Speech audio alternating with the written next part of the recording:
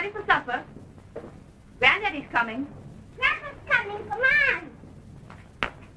Come along, Philip. I punch him in the nose for saying I'm only five. You are five. You are only five.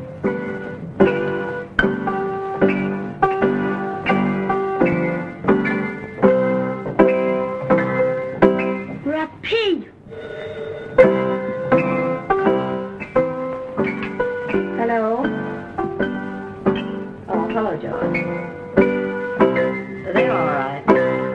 Philip's found a new puppy, and Dad's here for dinner. Hey, Mommy's phoning. Oh. I'll wait up for you. No, uh, don't wait up for me. I, I may be late. All right, dear.